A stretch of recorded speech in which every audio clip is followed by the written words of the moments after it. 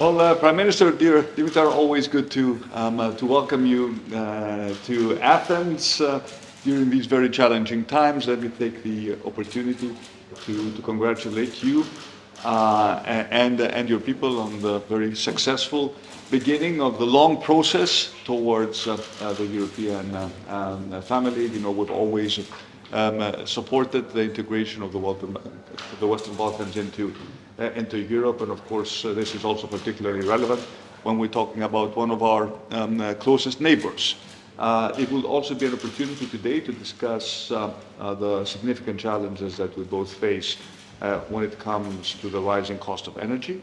I want to repeat that Greece stands ready to support um, Northern Macedonia during these challenging times.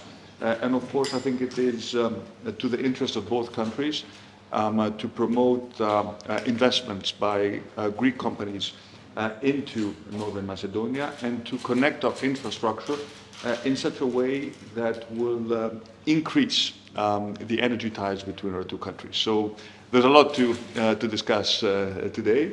But as always, it's a great pleasure to welcome you to, to Greece. Well, first of all, thank you very much for the, for the possibility to have this meeting. And uh, normally we have uh, really uh, relations which are on a very high level.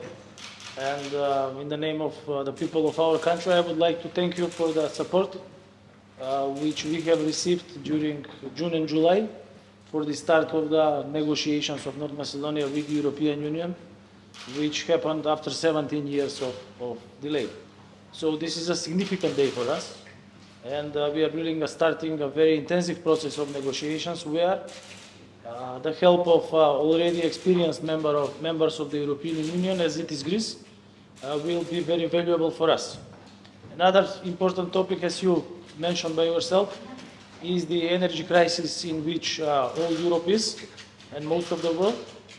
Uh, we have done a lot of preparations for this winter season but of uh, significant uh, uh, interest and of significant importance for us is that the close ties which we have with Greece, especially in the supplies of, of raw materials for production of electricity in our energy facilities, remains open during the whole winter and spring in 2023 and also uh, to continue the successful uh, Greek investments in North Macedonia, especially in the field of, uh, of energy.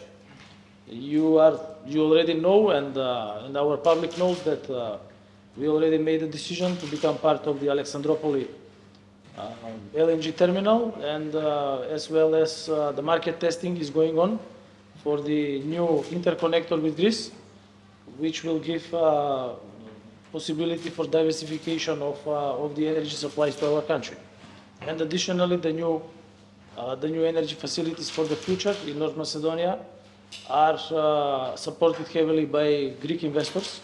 And as we can see, uh, at this moment we have, uh, we have in the pipeline or under preparation Greek investments of up to 1 billion euros in the field of energy. So two countries neighboring, uh, I would say example of good neighborly relations, uh, not only for the region, but for the whole Europe. Thank you. Thank you, Dimitar.